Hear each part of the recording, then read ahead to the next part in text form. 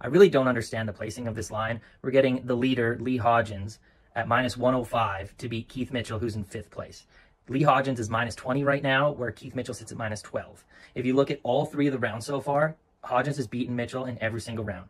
Round one, he beat him by five. Round two, he beat him by two. And then just today, he only beat him by one.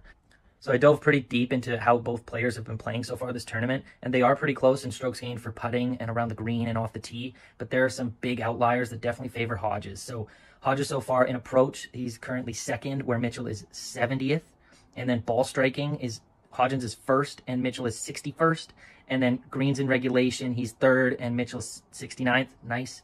And then accurate driving accuracy, Hodges is ninth and Mitchell is 44th. I feel like this is definitely a bet to place. So again, that is Lee Hodges over Keith Mitchell, two ball for round four, the 3M Open, minus 105. Hammer it. Let's go.